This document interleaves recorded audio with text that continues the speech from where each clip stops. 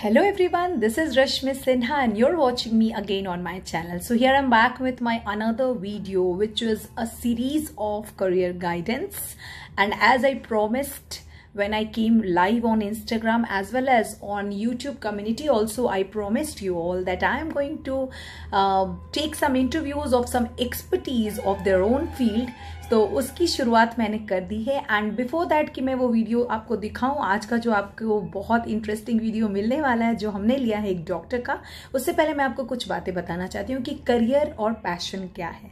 सबसे पहले तो करियर और पैशन दो डिफरेंट वर्ड्स हैं और इन दोनों में बहुत फ़र्क है। But when you are your career is unfold as you may go forward क्या होता है, कई बार हम स्कूल और कॉलेजेस में अपनी करियर डिसाइड नहीं कर पाते और हमारे सामने जो है न्यू चैलेंजेस न्यू एक्सपीरियंसेस आते जाते हैं, हम नई चीज़ों को एक्सप्लोर करते हैं और इस तरह हमारी जो करियर को लेकर जो हमारी पॉइंट ऑफ़ व्यू वो चेंज होती जाती है। हमारा प्रोफेशन हमारे हिसाब से नहीं होता जो हमने प्लान किया होता है। तो यहाँ जो है बहुत ज़्यादा लोग कन्फ्यूज़ होते हैं कि वो करियर का डिसीज़न कब करें कैसे करें क्या स्ट्रगल्स हैं क्यों उन्हें यही चूज़ करना चाहिए? तो मैं तो आपको एक बात सबसे पहले बहुत ज़्यादा इंपॉर्टेंट है वो बताना चाहती हूँ वो ये है कि, कि आप बहुत डायनेमिक हो पहले ये बिलीव कीजिए। सेकेंडली आप यूनिक हो okay every one is unique every one is dynamic and they have something in them something special in them so you need to explore and you this this you will come to know after constant practice आप constant अगर observe करें अपने आप को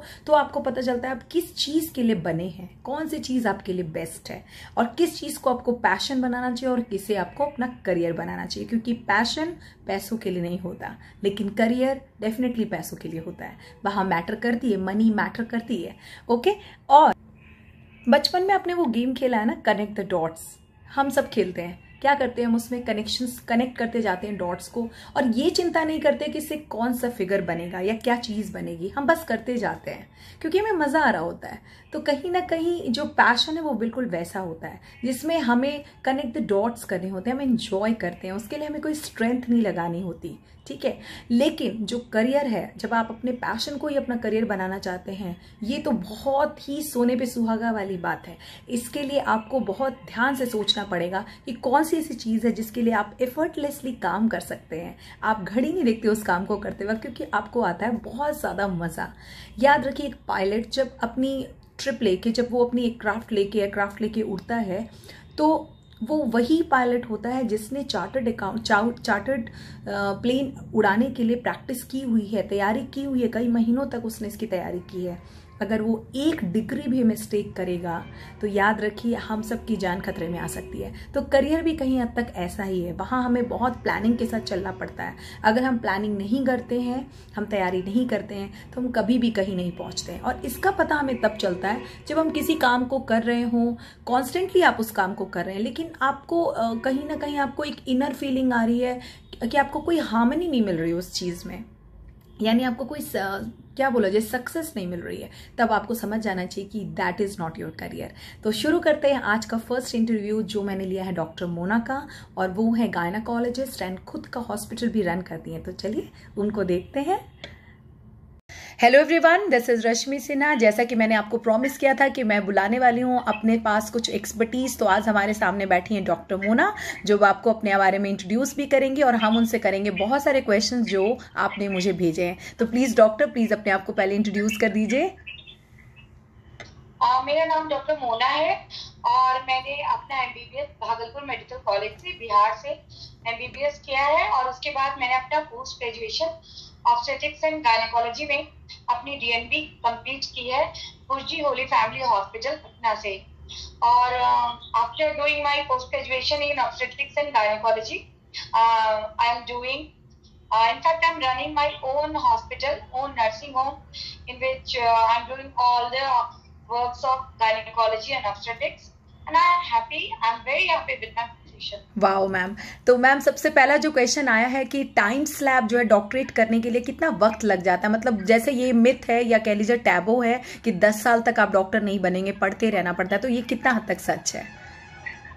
आ, ऐसे taboo तो नहीं है मतलब एग्जैक्टली मुझे लगता है दस साल तो लग जाते हैं। Okay okay. जो एमबीबीएस का कोर्स होता है वो 4.5 इयर्स का होता है। ओके मैम और आफ्टर एमबीबीएस हमें वन इयर्स की इंटर्नशिप करनी होती है। अच्छा मैम okay. और जब इंटर्नशिप हम लोग कंप्लीट कर लेते हैं तो हमें डॉक्टर की डिग्री मिलती है। फिर हम डॉक्टर कहलाते हैं। और आफ्टर तो फाइव पॉइंट फाइव ईयर्स तो हो जाता ही है हमें डॉक्टर बनने में। और उसके बाद जो हम डॉक्टर में अपना प्रोफेशन चूज़ करते हैं कि हमें किस फ़ील्ड में स्पेशलाइजेशन करना है। तो जो स्पेशलाइजेशन जो पीजी कोर्स होता है तो वो थ्री इयर्स का होता है जो डिग्री कोर्स होती है पोस्ट ग्रेजुएशन बहुत बहुत सारे स्टूडेंट डिप्लोमा करते हैं तो वो टू इयर्स का होता है। तो वो फाइव पॉइंट फाइव और उसके बाद थ्री इयर्स का तो हो गया। पोस्ट ग्रेजुएशन तो आई थिंक वो एट पॉइंट फाइव ईयर्स तो ऐसे ही चले गए। हम्म। और बहुत तो अभी नए एरा में एमसीएच होती है। आई मीन पोस्ट ग्रेजुएशन के बाद भी पढ़ाई करते रहते हैं करेक्ट हाँ तो वो बच्चे वो भी करते हैं। तो यस टेन इयर्स तो आराम से लग जाता है। अगर आपको एक काफ़ी डिग्री भी चाहिए आपको स्पेशलाइजेशन भी चाहिए तो आपको लग जाता है। यानी- यानी मैम एक सफल डॉक्टर बनने के लिए आप एक कम से कम आठ से नौ साल का समय देंगे। ये बात तो सच है। देना पड़ेगा। अच्छा मैम अगर कोई डॉक्टरेट कर रहे हैं लेकिन कुछ लोगों का कहना है कि अगर वो डेंटल पढ़ते हैं या वेटेनरी डॉक्टर बनते हैं तो क्या ये उनकी वैल्यू कुछ खास नहीं रहती? क्या ये बात सच है? नहीं ये बात सच नहीं है। कोई भी फ़ील्ड छोटा नहीं होता है। Okay. मेरी नज़र में हर काम की अपनी एक अहमियत होती है। अगर कोई डेंटल है डेंटल कर रहा है दैट इज़ वेरी गुड वो भी बहुत अच्छा है। Okay. वेटनरी भी बहुत अच्छा है। कोई भी फ़ील्ड खराब नहीं होता किस कोई भी अपने आप को लो ना समझे। हम्म। बस शिद्दत होनी चाहिए काम करने की और ईमानदारी होनी चाहिए अपने प्रोफेशन के लिए। कोई भी काम खराब नहीं। Okay ma'am. तो आप किसको सजेस्ट करती हैं? गवर्नमेंट कॉलेजेस में पढ़ना अच्छा है या प्राइवेट सेक्टर में भी लोग पढ़ सकते हैं मेडिकल की तैयारी कर सकते हैं? मेरी नज़र में तो मैं तो आ, यही चाहती हूँ कि गवर्नमेंट कॉलेजेस में पढ़ें। बिकॉज़ लेकिन ऐसा कुछ नहीं है अगर आप अफोर्ड कर सकते हैं क्योंकि तो प्राइवेट मेडिकल कॉलेज काफ़ी महँगी है। आ, हम्म। सारे तो महँगी नहीं है लेकिन पढ़ाई बहुत महँगी है। फिर भी मैम तो कितना प्राइवेट कॉलेजेस में पढ़ने का एक लमसम कॉस्ट कितना आ जाता होगा मैम? आज के डेट में मिनिमम कॉस्ट मोटा मोटी आप 45 लाख रख लीजिए। और मैक्सिमम वन करोड़ तक ओनली एमबीबीएस करने ओके ओके ओके ये तो तो और वो जब तक डॉक्टर बनेंगे तो आठ से दस साल लग जाएँगे यानी तब वो अर्न कर सकते हैं। यानी वो पैसा रिटर्न होने में भी दस साल का वक्त लग जाएगा पाँच से आठ साल का वक्त और लग जाएगा।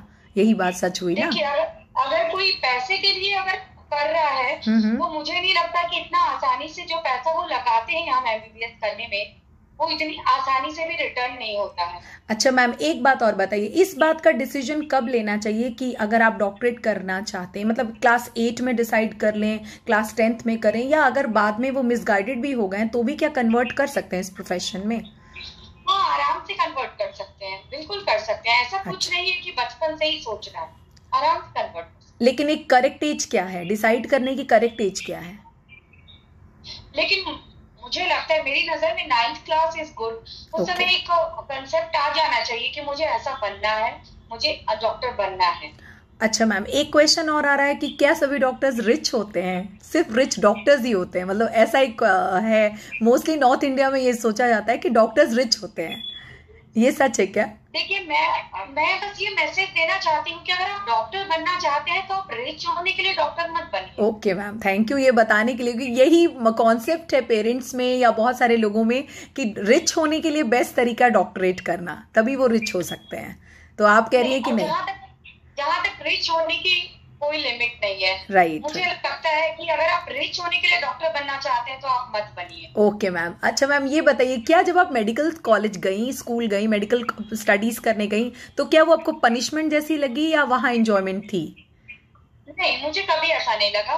मैंने बहुत इंटरेस्ट लेके पढ़ाई की और कभी मुझे पनिशमेंट जैसा फील नहीं तो क्या आप वहाँ पे मस्ती करते हैं? जैसे और कॉलेजेस में होती है ऐसा सब हाँ, होता है? बिल्कुल अच्छा। बिल्कुल वैसे ही मस्ती करके हमने पढ़ाई की और कभी पनिशमेंट फील नहीं किया ओके। जैसे आप जैसे और अदर स्टूडेंट्स अपने कोर्सेज पढ़ते हैं हमने भी वैसे ही पढ़ाई ओके मैम तो क्या ये जो लोग एवरेज हैं या बिलो एवरेज हैं जिनको नहीं लगता है कि वो बन सकते बट उनके पेरेंट्स प्रेशराइज करते हैं या उनकी फैमिली में मैक्सिमम लोग डॉक्टर होते हैं तो वो चाहते हैं कि वो डॉक्टरेट फ़ील्ड में ही जाएँ उनके लिए किस हद तक स्कोप रहता है डॉक्टरेट फ़ील्ड में उन्हें उस फ़ील्ड में जाके मेहनत करनी पड़ेगी पढ़ाई करना पड़ेगा। अगर वो किसी भी फ़ील्ड में जाते हैं सेटल होते हैं तो एक अच्छा पोजीशन पाने के लिए तो मेहनत तो मेहनत से बड़ी कोई कहते हैं ना सफलता सफलता की कुंजी होती है हम्म, मेहनत। हम्म। तो मेरी में अगर कोई एवरेज भी स्टूडेंट है और अगर वो बनना चाहता है तो अगर वहाँ पे मेहनत करेगा वो ज़रूर अच्छा करेगा। मन में बस चाहत होनी चाहिए।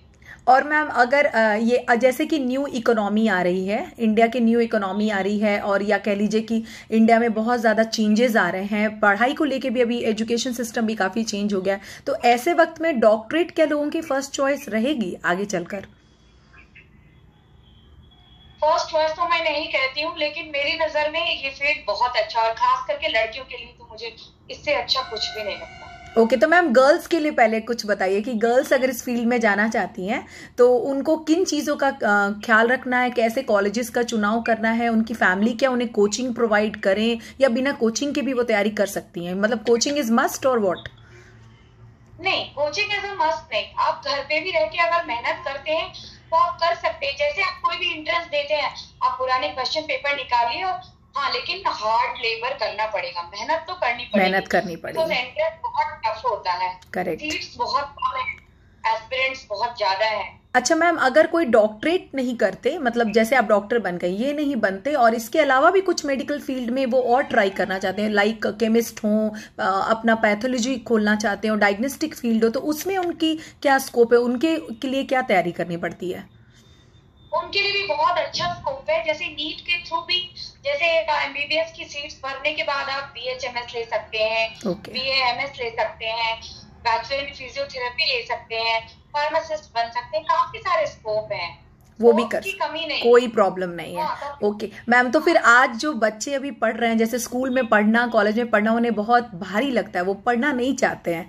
तो आप क्या सजेशन कैसे उनको किया जाए कंट्रोल किया जाए या उन्हें ये बात जो बात आपने कही है कि वो हार्डवर्क करें मेहनत करें सफलता ज़रूर मिलेगी इसको कैसे उनको टर्न किया जाए? उनको क्या मदद करें? पेरेंट्स या टीचर्स क्या हेल्प करें? मैं सबसे पहले टीचर को ये बोलना चाहूँगी कि आप पहले बच्चों को एक टारगेट दीजिए।